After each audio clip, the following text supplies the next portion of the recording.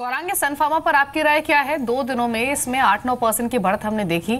और I remember आपने पहले भी अपने व्यूज़ जब भी सनफार्मा पर शेयर किए हाँ पॉजिटिव रहे हैं। और आपका कहना यह रहा है कि हलोल प्लांट को लेकर अगर कोई भी रेजोल्यूशन आया तो वो एक पॉजिटिव ट्रिगर होगा। रेजोल्यूशन भले ना आया हो लेकिन कंपनी अपने कई की प्रोडक्ट्स को हलोल प्लांट से दूसरे प्लांट्स में शिफ्ट करने का प्लान कर रही है। और ये पॉजिटिव हो सकता है क्योंकि 10 10 से 15 percent revenues company US market में इसी प्लांट से कैटर करती है।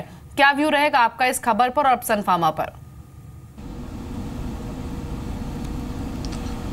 बिल्कुल सही फरमाया आपने, दीपाली। हमने निवेशित रहने की सलाह दी है और अगर कारणवश नीचे कोई गंभीर परिस्थिति होती है और फिसलता भी है तो उस सूरत हाल में भी निवेश नया करने के लिए बना है।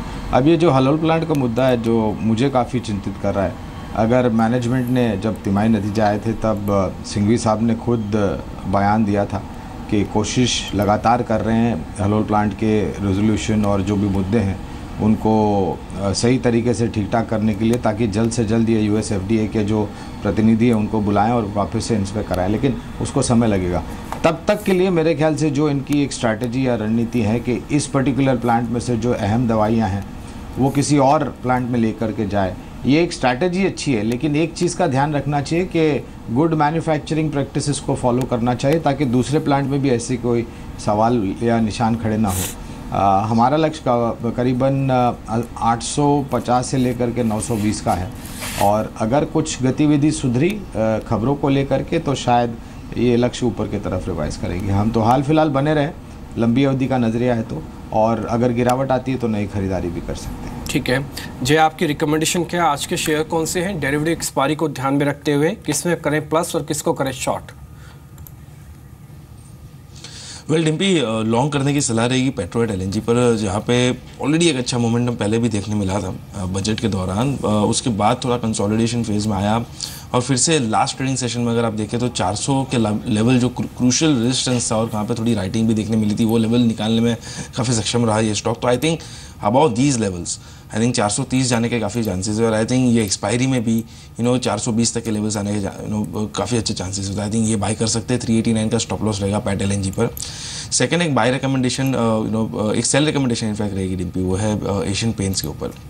एशियन पेंट्स में क्लियरली एक राइजिंग चैनल में से ब्रेक डाउन देखने मिला। साथ ही साथ low top slow bottom formation last trading session में हमें कंफर्म होते हुए हाँ। नज़र आई ओपन इंटरेस्ट भी जो हिसाब से बिल्डअप हुआ है शॉर्ट साइड पर इसको शॉर्ट करके चल सकते हैं। ऑन द लोअर साइड 915 का एक टारगेट रहेगा। ऑन द अप साइड 985 का एक स्टॉप लॉस रहेगा। So I think these two trades if I recommend one on the long side and one on the short side ji. Trading picks जान लेते हैं पूजा से। अगले दो मिनट में दस ट्रेडिंग कॉल्स कौन सी हैं? बताइए पूजा। जी आज सारे कॉल्स में खरीदारी की राय है और ज़्यादातर रुझान जानकारों का एनबीएफसी और फार्मा स्टॉक्स पे देखने को मिल रहा है। इन्वेस्टर पॉइंट से कुछ व्यू ले लेते हैं। इन्होंने भारत फाइनेंशियल इंक्लूजन में खरीदारी करने की राय दी है और शुक्रवार को भी अच्छी रैली देखने को मिली थी स्टॉक में और आज भी इनका मानना है कि आठ सौ नब्बे तक के लेवल्स स्टॉक में देखने को मिल सकते हैं और स्टॉप लॉस एट का रहेगा। दूसरे कॉल में इन्होंने इंजीनियर्स इंडिया लिमिटेड में खरीदारी करने की राय दी है।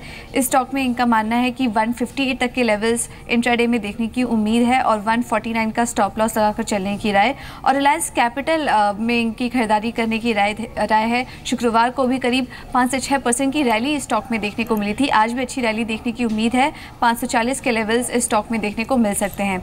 आईडीबीआई कैपिटल से कॉल्स डिस्कस कर लेते हैं। इन्होंने डिवीज़ लैब में खरीदारी करने की राय दी है।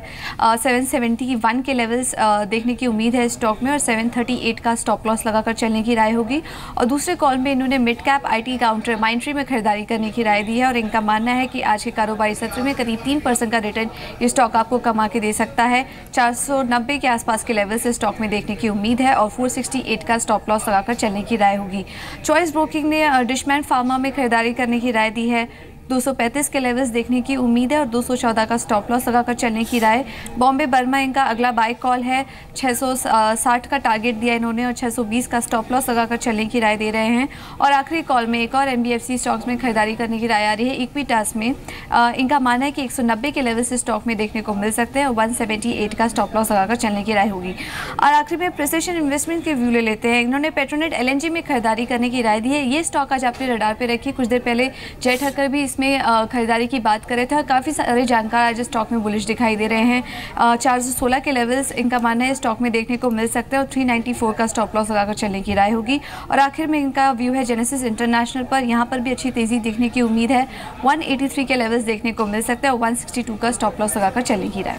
ठीक है ये कुछ एक रिकमेंडेशन है जिसपे आप ट्रेड आज ले सकते हैं। आपको स्टॉप लॉस और टारगेट भी दिए गए और रणनीति भी आप इसमें समझ पा रहे हैं। इस बीच आपको दो इंटरेस्टिंग खबर एक तो खैर अब बिल्कुल एक जीएसटी से जुड़ी, लेकिन दूसरी, उससे पहले एक इंटरेस्टिंग खबर आपको बताते हैं। वो मुंबई और अहमदाबाद के बीच में जो रेल कॉरिडोर बन रहा है, असल में बुलेट ट्रेन का रेल कॉरिडोर बन रहा है, ये 500 किलोमीटर का बीच का एक कॉरिडोर होगा, लेकिन इसमें 21 किलोमीटर ऐसा होगा जो कि समुद्र के नीचे बनेगा। ये बड़ा इंटरेस्टिंग फैक्ट है, और इसके लिए काम काज होना भी शुरू हो गया है। हो सकता है तीन फेस में समुद्र के अंदर ड्रिलिंग हो तो अभी की जानकारी है कि सात किलोमीटर के एरिया के लिए ड्रिलिंग भी शुरू हो गई है।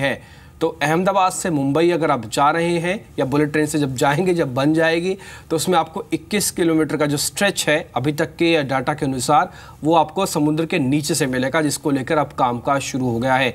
तो रेलवे बुलेट ट्रेन को काफ़ी गंभीरता से, या करते हुए हो सकता है, ये जो पायलट प्रोजेक्ट के तौर पर ही हो रहा है, ये एक सक्सेसफुल स्टोरी है और आगे चल के एक नया इतिहास भारत इसमें भी लिख दे। मेट्रो को लेकर भी पहले ऐसे ही कुछ हुआ था। पहले ने कहा कि अब जब दिल्ली में ऐसा होगा तो सिस्मिक जोन के अंदर है, नुकसान पहुंचेगा, लेकिन आज दिल्ली की शान ही मेट्रो है।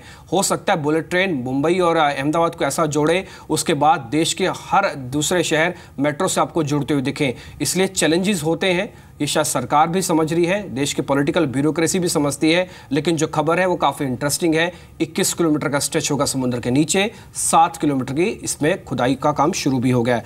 दूसरी खबर है जीएसटी काउंसिल को लेकर। एक तो देश के नीचे खुदाई और देश के ऊपर जो टैक्स का रिफॉर्म है, वो भी ठीक करने का प्रयास सरकार का जारी है। एक बैठक हुई उदयपुर में, जिसमें एक पार कर लिया हमने, या जो हर्डल जिसे कहते हैं, वो ये था कि कंपनसेशन टू द स्टेट्स जो राज्य को पाँच साल में जितना भी टैक्स का नुकसान होगा, वो कंपनसेशन देगी केंद्र सरकार। तो एक बड़ा हर्डल था जिसको पार कर लिया है। अब एक और बैठक होने वाली है, वो चार और पाँच मार्च को होगी। उसमें इससे भी बड़ा पॉइंट यानी कि जो फिटमेंट ऑफ़ अ रेशोज है, जिसमें पाँच, बारह अट्ठारह और उसके ऊपर का जो रेशो है, उसको फिक्स करने की बात हो सकती है। इसको लेकर शायद ज़्यादा मतभेद होना क्योंकि इसमें ज़्यादा सुखबुगाहट या फिर विपक्ष की तरफ़ से ज़्यादा इश्यूज़ भी नहीं रेज किए गए थे। तो जीएसटी एक जुलाई को लागू हो सकता है। इसको लेकर जो सरकार की गंभीरता वो दिख रही है, क्योंकि अब हर एक बैठक कहीं ना कहीं किसी न किसी डिसीज़न पे आके रुक रही है, जैसे कि कंपनसेशन पे आके रुकी और अगली बैठक हो सकता है रेशियोज को फाइनल करने पर आके रुक जाए। तो ये बहुत इंपॉर्टेंट है। विकास, आप इसको कैसे देख रहे हैं? जो जीएसटी काउंसिल की अब जो रफ्तार पकड़ी है। मैं छः महीने पहले जीएसटी के रोड मैप पे या बातचीत पे बात नहीं कर रहा, लेकिन ये बजट के बाद और ठीक बजट से आसपास जो बैठकें हुई हैं, उससे कुछ कंक्लूजन निकल रहा है। वित्त मंत्री का अपना कॉन्फिडेंस भी जो एक जुलाई की तारीख को लेकर था, वो भी काबिल तारीफ़ था और बाज़ार ने रिएक्शन भी दिया। ये जीएसटी को लेकर जब जब एक एक बैठक होगी या कंप्लीट होगी, बाज़ार पे इसका रिएक्शन आएगा या फिर आप सीधा ही एक जुलाई पर देखेंगे? नहीं, बिल्कुल डेफिनेटली एक पॉजिटिव न्यूज़ है। जीएसटी जिस तरह से सरकार चल रही है और जुलाई में अगर इम्प्लीमेंट होता है, जो कि होना भी चाहिए तो डेफिनेटली पूरे मार्केट के लिए ही पॉजिटिव होगा। इससे माना जा रहा है, बिल्कुल हमारा जो जीडीपी ग्रोथ रेट है वहाँ पे एक से डेढ़ परसेंट का इजाफा हो सकता है तो डेफिनेटली पूरे मार्केट के लिए पॉजिटिव होगा। बाकी जो स्पेसिफिक सेक्टर्स है जहाँ पे इसका एक बेनिफिट देखने को मिलेगा जैसे लॉजिस्टिक्स है वो आज जैसे पॉजिटिव न्यूज़ आती है तो लॉजिस्टिक पूरा सेक्टर ही लाइमलाइट में आ जाता है। और उसके है। अलावा भी जो एफएमसीजी कंपनीज़ है या फिर जो सेक्टर्स है जो कि अनऑर्गेनाइज सेक्टर से अनऑर्गेनाइज मार्केट से काफ़ी कंपटीशन फेस कर रहे हैं उनको भी एक बहुत बड़ा फ़ायदा होता है। तो इन सब सेक्टर्स पे बिल्कुल तेज़ी बनेगी और ओवरऑल मार्केट के लिए बिल्कुल पॉजिटिव है।